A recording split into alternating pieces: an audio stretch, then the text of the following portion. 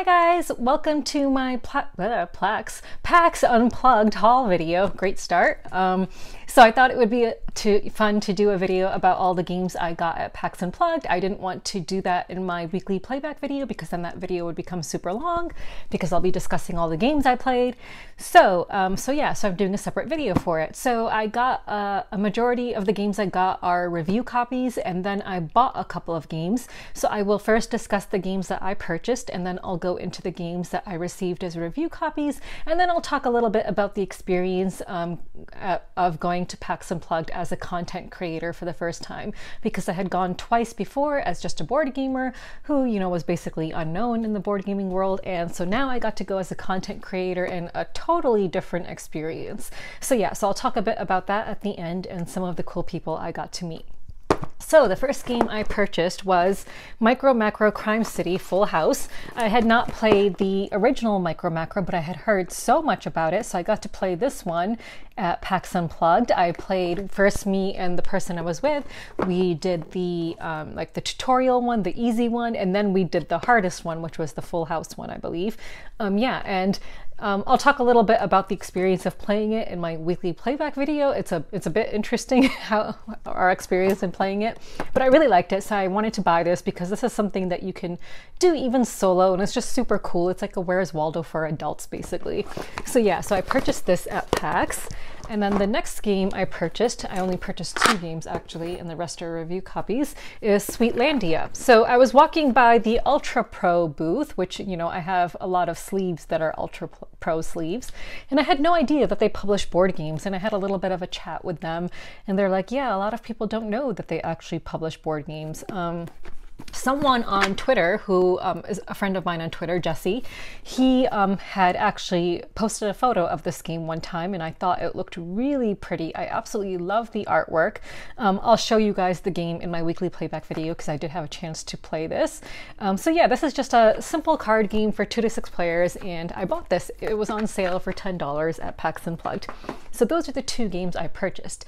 Now I will go into all of the review copies. Oh, actually, before I do that, I, this was not at PAX Unplugged, but it came in the same day I was leaving for PAX, so I'm going to mention it. The Shipwreck Arcana, I mentioned this um, in my last weekly playback video. It's like a deduction game uh, for two to something, two to five players. Um, I actually played this again at last night's game night. We really like this. I will be able to show you guys the inside of this game now, the cards and all the components, and hopefully explain it better because when I was rewatching my weekly playback video that I did the last time, I realized that some of the stuff I said could be a little bit confusing. So now that I have the game, I will be able to explain it a bit better. But I think that this is a really great um, uh, compact deduction game, and I highly recommend I highly recommend buying it. So I bought this from the publisher's website, which is Meromorph Games. Um, so yes, yeah, so if you're interested in it, they do have it for sale on their website, and I would recommend you go to the website because some people on BGG are trying to sell it for an outrageous price. Okay, so now I can go into the games that I received uh, review copies of. So I'm to start with the smaller games first. Um, first, um, I already took it out of the box. Where did I put the little thingy? Oh, here. So I finally got my review copy of the expansion to Fort Cats and Dogs. Um, so yeah, I think I was like one of the last few content creators who had not yet received a review copy of that, though I had um, created content content of the original game when it was first coming out, the base game Fort. Um, so I already sleeved it and put it into the main box. Um, so let me see if I can just show you guys uh, some of it. So it comes with these cool cats that can wander into your yard if you meet certain conditions, and then they can wander out of your yard. So I've already played this game once with the cats expansion, which I liked. I have not played with the multiple dogs that it comes with. It comes with a lot of dogs. So yeah, a bunch of dogs, and it comes with these like dog houses. So I don't know what the dogs expansion is like yet, um, and I'm assuming that you can kind of combine them. I don't know, um, because again, I haven't played with the dogs expansion yet. Um, so yeah, so I got a review copy of Cats and Dogs, which I'm excited about because I've been wanting to uh, play with the dogs expansion and the cats expansion. So that is the first thing I got a review copy of. The next thing I will show you guys is um, let's go to this. This is Widget Ridge a steampunk deck building game with crazy inventions and lots of fun. So I was walking by this booth and um, it just looked so freaking cool. Like you guys know, my logo has like uh, gears on it, the whole steampunk thing.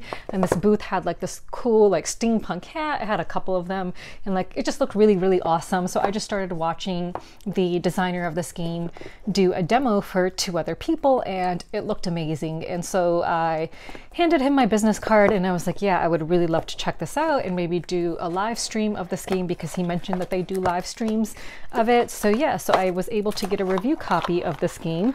And apparently you can combine decks. So this box alone is for one to two players, but you can combine it with other decks to make it for like up to four players, I believe. Um, so yeah, it's a deck building game with really cool steampunk artwork.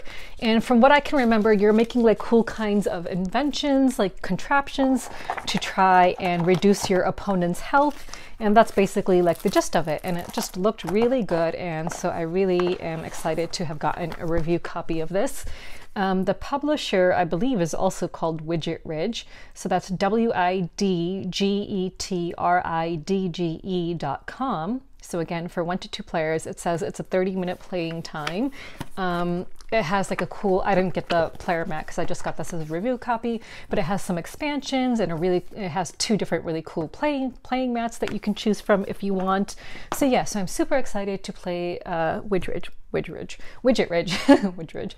Okay, um, let's go on to uh, mountain goats. Um, so yeah, so I stopped by the board game tables booth and got a demo of mountain goats. And of course, Goat Meeples had to check that out. So yeah, absolutely love these goat meeples that come in four different colors. I wish they had purple goats, but alas, they do not. Um, nice blue dice. So yeah, you're just trying to be like the goat at the top of a mountain. It seemed like a really fun, quick game for like two to four players. Two to five players, excuse me. So two to five players. Oh, that's interesting. Should there be five different goat colors? Maybe not. Maybe you don't. Huh?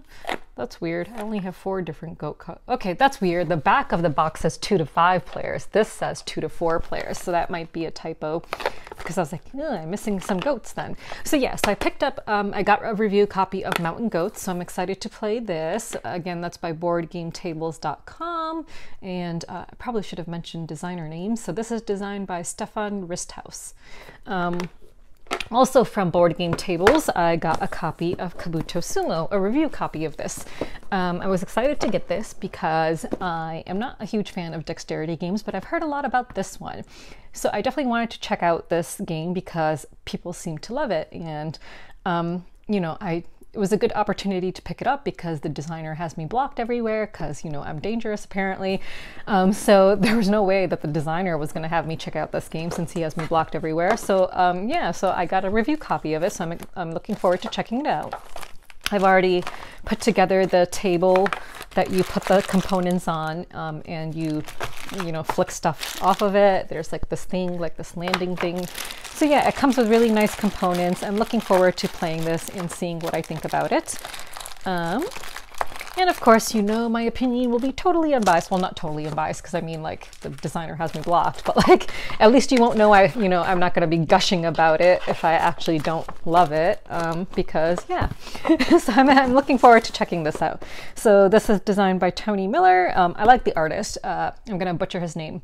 Kwanchai Moriya. He's done artwork for some other games that I like. I believe he did the artwork for the game um, So You've Been Eaten, which I covered for oh god, Ludi Creations. Um, so yeah, so looking forward to checking out Kabuto Sumo, even though I'm not the biggest fan of dexterity games, but I've just heard so much about it, so I really want to check it out.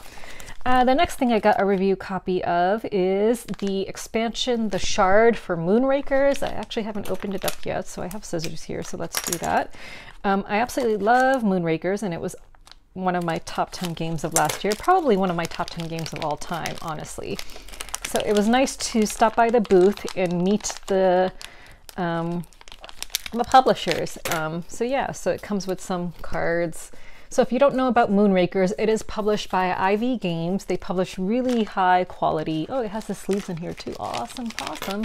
So yeah, they publish really high quality games um, and they are really good games. Like I actually really love their games. Um, Moonrakers is a negotiation deck building game. I absolutely love the fact that you can have a deck building game with a negotiation aspect to it. Super fun. I love the theme of it. It's like, you know, I don't come across a lot of space games with artwork that I like and with like play that I like. So, um, you know, I've only come across a couple of space games that I really like, and this is one of them. So I absolutely love Moonraker, so I'm excited to have this expansion and play it again sometime. All right, let's move on to Radlands by Roxley. So I got a review copy of this game. I did not back it on Kickstarter because it was insanely expensive. And to be honest, the artwork looks really cool, but I wasn't sure um, I would enjoy it, but then everyone at PAX Unplugged was talking about how amazing this game is. So Radlands is, uh, who's the designer? I don't even see a designer name on the box. Let me see if it's on the back side or something. I don't see a designer name anywhere. Hmm. Uh, maybe it's just published by Roxley, I don't know. Um, Okay, here we go. Daniel Peach, Peach, Peachnik. Pechnik, Pechnik, I don't know. Um, so yeah, so the artwork is really cool. It's uh, a deck building game, I think. I think it's a deck building game, like some kind of competitive deck building game, I think, for like two players, and it's got super cool artwork. So yeah, everyone was raving about this game, so I was really excited to get a retail copy for a review copy to check it out. So I really want to play this. So yeah, it's a two-player game. Uh, Radlands is a competitive dueling card game about identifying and exploiting fiercely powerful card synergies. And yeah, I'm just really, really excited to play that.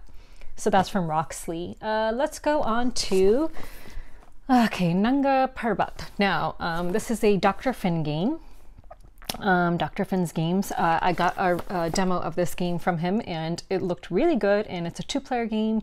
So in this game, the Sherpa people known for their exquisite mountaineering skills use, their, use those skills to guide explorers on expeditions. In this game, you are a member of the Sherpa community building base camps on Nanga Parbat and trapping animals for food and clothing. Use your cunning and skill to climb to victory. So yeah, during the um, uh, demo I got, it looked like a lot of fun. So me and my little Grogu got a demo of this game from Dr. Finn and we talked about it. And so out of all the games he had, I asked for a review copy of this one. And it comes with really nice components It has these really cool animals and stuff and it's really clever and you know I'll discuss it more in the um, weekly playback if I've had a chance to play it I only got a demo of this so I haven't had a chance to play it but hopefully at some point I'll discuss it and how it plays because it seems like a really clever like game where you're trying to get points and, and the way you get them was pretty clever I really liked it um, from the demo. So yeah, so super excited to play that. Um, the next game I will talk about, uh, the next two games I'll talk about because they're from the same publisher, are Shobu and The Dudleys. Um, so these are published by, oh gosh, uh, Smirk and Dagger Games. Yeah, that's it, Smirk and Dagger. Um, so I stopped by their booth because they had uh, reposted, re-Instagrammed, I don't know what the word is. They had reposted a photo that I had posted of uh, the Night Cage. So the Night Cage, I had um, posted a photo of Grogu wanting to play the Night Cage. We didn't get a chance to play it during Thanksgiving, so they had like reposted that photo on their Instagram. So I was like, oh, I'll stop by and just like say hi and let them know that Grogu still hasn't had a chance to play the Night Cage. So I had a chat with them, and I got this game, which is a two-player game, I believe. Yes, it's a two-player like strategy game. So it says it's a beautifully crafted abstract strategy game for two players. So the way it was described, it seemed like something that would you'd like if you like games like chess, which I really do. I really love chess, but I really, really suck at it. So, and the components in this are really beautiful. It has some wood boards in it and some like stones. Um, I can just show you. And then like a rope too. So it comes with like four of these wood boards and two of them are a little bit darker. And then it comes with a bunch of stones, white and black and a rope to separate the playing area.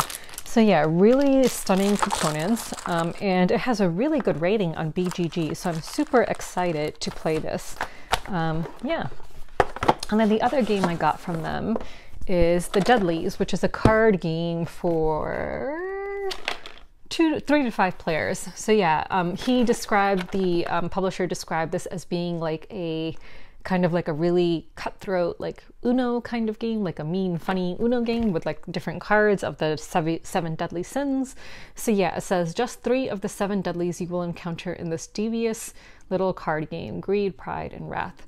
Do your best to rid yourself of them all as soon as you can, while your opponents do their damnedest to fill your hand with more. Play as many cards as you can each turn of the same suit, number value, or a straight of any length. Empty your hand three times to win and become the envy of all of your friends. So yeah, um, it has cool artwork and it just seemed like a fun game seemed like a fun game that would, you know, be like a good filler for game nights. So I'm looking forward to playing that. Let's move on to um, Flourish. So I picked up two games from Starling Games, the publisher of Everdell. I stopped by and got some photos in the Everdell tree, so maybe I'll just pop one up here. Um, yeah, so I was able to get a review copy of Flourish, which looks absolutely beautiful. It is designed by James and Carissa Wilson, and it is for one to seven players. So I'm really like looking forward to checking this out, like a game game for one to seven players. It's kind of hard to find games like that. I actually spent a lot of time punching this out and putting it together at PAX Unplugged, and then we didn't even end up playing it. So I haven't yet played this game, but it's like got so many components. Like you put these things together and it took a long time to put all of these together. I thought the blue ones were the hardest to put together. Those were a pain. Um, I like these purple ones. Yeah, there's like a bunch of stuff that you had to put together. Um, I think I haven't shown you guys the green one yet. Yeah, so it's like you're just building up a garden. I don't, I read the rulebook. I hadn't yet come across all of these like things yet, so I don't know how they come into play, but like some really gorgeous cards. Yeah, so I'm really looking forward to trying this out because it's hard to find like medium weight games that are for this many players. So I'm really looking forward to hopefully playing this and seeing what it's like.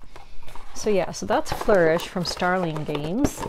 Um, the next game I got from Starling Games is Panorama, which looks absolutely stunning. So this is designed by Alex Winter how appropriate of a name because like in this game it looks like they're in some snowy landscapes and there are some absolutely stunning cards. Um, the inside of the box is just gorgeous too. Let me just show you.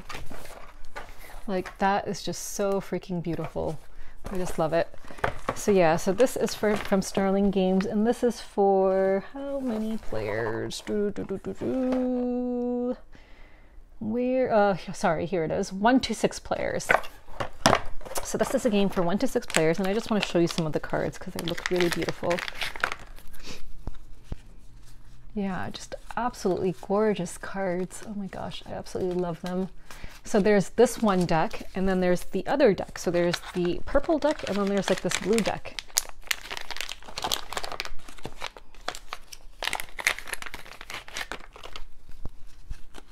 Yeah, so I'm really looking forward to playing this because the artwork just like is so freaking gorgeous. And I, so I think you're just basically putting together panoramas. Like you're just, you know, going to be drafting cards somehow, I think, and just making like a panorama.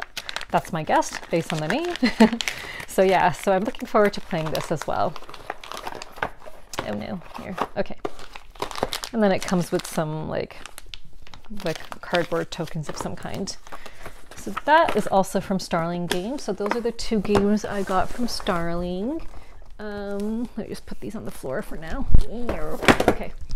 The next game I will talk about is from Inside Up Games City Builder Ancient World. In this, will, I will be talking about in the uh, tomorrow's or Saturday's weekly playback video because I actually had a chance to play this last night at game night and I really liked it. So this is from Inside Up Games and it is designed by Andre Philippe and illustrated by Andrew Dorland and it's got a really great insert with like a ton of like cardboard pieces and really nice components. The insert is really great because like you can like remove stuff and then you'll have space for like some of the meeple token thingies. Yeah, so you're basically building a city. It's uh, one of those games where you have something, I mean, I'll go into more detail tomorrow, but you have like like a thing between you and each opponent to one of your sides.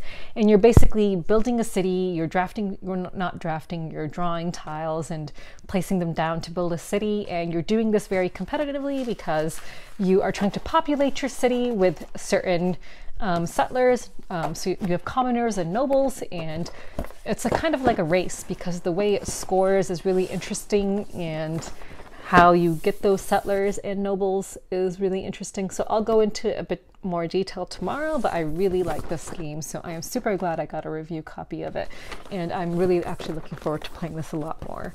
Um, so the next few review copies, just three more games left, um, I think. Yep. So the next three games are from Capstone Games. So I stopped by the Capstone booth and I was able to get a review copy of Glass Road.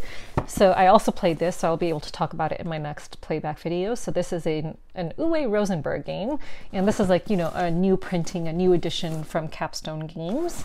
Um, so I can just show you some of the, so yeah, there's no insert, it's just like a bunch of stuff in the box. So you're gonna have like a bunch of cards and like cardboard and like you basically, uh, you'll have this this is like your thing. I'll explain it tomorrow, but it's like a more of a like it's like a very classic Euro game, right? So it's not like these new flashy Euros that people are coming out with these days. It has a very classic Euro feel to it, and I'll discuss it tomorrow.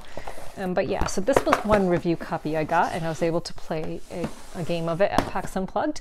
The other review copy I got from Capstone Games is a Wolfgang Kramer and Michael Kiesling game, Savannah Park um, which has, you know, nice cardboard components in it. So in this game, you, I think you're just basically populating your park with different animal tokens. So this is like the scoring board, and then you have this, and you're gonna have tokens for your own player color. So like, yeah, so there's like four different sets of tokens with all kinds of different animals on it, and like each player will have like a meerkat, a guide, and a lion. I think the lion is for an expansion of some kind. So yeah, so I'm looking forward to playing this, especially since I I think Paris was my first Kramer and Kiesling, that Kiesling game that I played, I think. So I'm looking forward to trying this one since I did like Paris, even though we played it a bit incorrectly, but yeah. But I think the way we played it incorrectly actually led to it being a quicker game, and the length of the game was something that people complained about. So hopefully um, that will be a good game. So the next game I got, and the last game I have to discuss here today, is Corrosion by Stefan Bauer, published by Capstone Games. Um, so I'm actually playing this tonight, so I'm looking forward to that.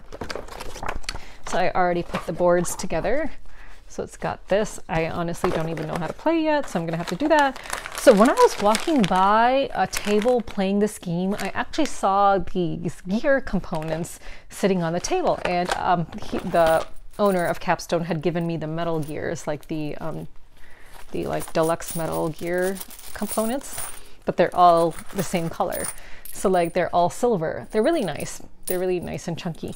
But when I was walking by, I was like, wait a second, how come that person has like brown metal gears? And I honestly, I swear to God, I thought that these brown pieces I were I was seeing from afar were metal. Like that is how nice these cardboard components are. Like as I was walking by, the, the shine on them made them look like metal, like the way that they are. And they're actually much thicker than the other like cardboard components in this game. So they're super nice. So honestly, if you get corrosion, I don't even think you need the upgraded like metal bits. Like these are just super nice. So yeah, um, I'll be taking pictures of this and posting it. I don't know how it plays yet, but since I'm playing it tonight, I'll be able to discuss it in the next weekly playback video. So those were all the review copies I got. So now I can talk a bit about being at PAX as a content creator. So in years past, I was just a board gamer when I would go um, and it was fun to play so many board games. Like my days would just be spent in the first look section basically just playing a crap ton of board games this time. So I'll talk about the whole experience. So I got there Thursday um, and I went to the Mixer event, which was fine. Um, it was very crowded. It was a really small location with a ton of people and a ton of people who I know don't like me. So it was like really awkward being in this really small space with so many people who I know think that I'm this like evil bad person or whatever. Um, But luckily, I was able to chat with a handful of really amazing people there. Um, one of my friends was there, and I was able to chat with them and uh, their uh, significant other for quite a bit, which was nice. I was able to chat with some people who follow my content and you know were saying hi and stuff like that. So I was able to meet a you know a good number of people. I ran into um, Meg. I don't know what her uh, Professor Meg, I think she goes by on Instagram. I ran into her on the elevator and had a little chat with her. Um, but yeah, so overall that was nice. I did not stay super long at the Mixer event. So um, after I was done chatting with my friends, I basically left um, just because, again, it was a very small venue and just awkward being stuck in such a small space with so many people who I don't like and who don't like me. So, so yeah, um, it's not that, you know, like there was like no point to staying there really um because i knew that i would get a chance to like meet all the publishers i wanted to over the next couple of days. So the only bad experience i had like so one of my worries being at pax unplugged this year was of course you know there's been all this talk about how i'm dangerous which is of course not true because you know i've explained all of that in past videos. So that was a concern um, being at pax but there was only really one negative um, experience I had, which is when I was talking to a certain designer slash publisher and this was early on Friday. Like his was the first booth I actually went to on Friday, I believe. And as I'm talking to him, someone else, a content creator, a Twitch streamer, came up to us, and like there's no one else around us. We're like involved in a conversation, and she cuts me off and just starts talking to this designer slash publisher as though I wasn't even there, as though I was not even talking to him, as though I didn't exist. And I was like, well, that's very uh, rude. so I just basically had to walk away awkwardly. Like that was just a very um, yeah, that was very rude. So anyway, um, you know, I don't know if this uh, content creator just felt like, wow, you know, Sarah shouldn't get to talk to anyone, so I'm just going to go and cut her off. But, like, you know, that reflects more on her than it does on me. And I ended up going back to this designer and publisher um, on Sunday, and he was very nice and he uh, demoed a game for me and Grogu and then gave me a review copy and we had a nice little chat. So yeah, so you know, no damage was done there if that's what she was trying to do because I just went back another day. So that was like the major negative experience I had. Otherwise, it was a very good experience. I got to meet so many people. I met so many people who I you know, know and admire online, and it was amazing to finally meet them in person. I got to meet some people who watch my content and enjoy my content, so of course it was awesome to meet them um, and have a chat with them in person. So yeah, some like highlights were, of course, meeting um, Henry Audubon, the designer of parks, he actually gave me some really good suggestions for my elephant game that I'm designing that, uh, you know, I didn't even think of before. So he gave me some really good food for thought for my elephant game design. I got to meet Ryan Courtney, the designer of Curious Cargo and Pipeline. So, you know, Curious Cargo is one of my favorite two player games, even though I totally suck at it. So it was really nice to meet him. I actually got a picture of him, so I'll just throw it up right there. I got to meet Tim Virnig of Thunderworks Games, so it was really a pleasure to meet him. Um, who else? I mean, I met so many people. It was just really a great experience. I met other content creators. It was just a lot of fun. And honestly, I did not get to play as many games as I would have liked. The only games I think I played at PAX Unplugged were, I mean, I had all these games in the first look section that I want to check out, but I was spending so much time just meeting people and meeting publishers that there was very little time to play games. Oh, of course, I got to meet Ant Lab Games, Anthony and Francis, who are just wonderful. I got to meet them on Friday, and yeah, I just love them. So there's a picture of us.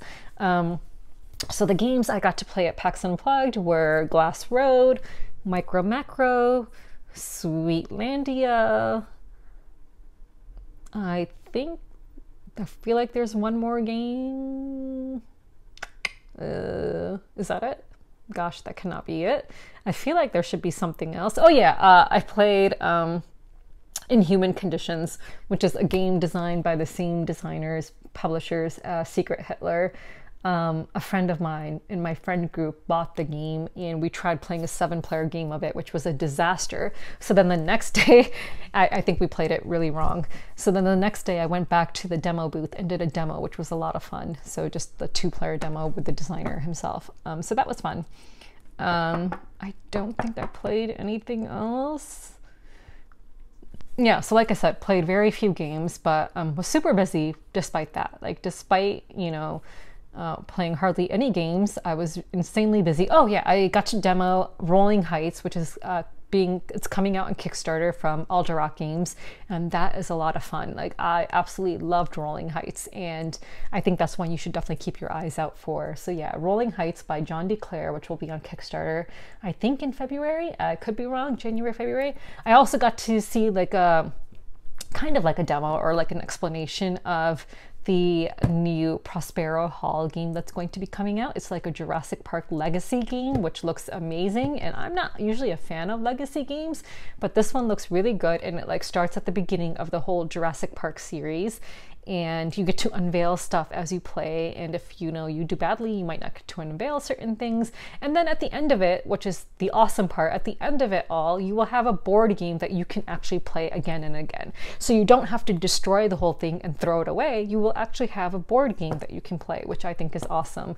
So yeah i was super excited to check that out. Um, i can't recall if i played anything else so I think that might have been it actually then. Hmm. So yeah, not too many games played, but again, a super busy experience meeting a lot of fun, you know, a lot of people. It was just super fun to meet everyone, just super fun to walk around and be surrounded by games and yeah, just be surrounded by publishers and meet publishers. Just it was really a lot of fun and I'm seriously looking forward to more cons in the future um, as a content creator. It was just a different experience, but still a lot of fun. And yeah, I can't wait to do more cons in the future and meet more of you, hopefully. So for those of you who couldn't make it, you know, I'm sorry that we could not meet, but I hope that, you know, in the future I will be able to get to go to more cons like Gen Con and um, what's the other one? Origins. I hope to do those next year if I get, if I can. Yeah. So I guess that's it. So I know this was super quick, but I'm making this video on my lunch break. So, so yeah, was gonna be quick. Um, yeah, so that was my haul and until my weekly playback video, until then, bye.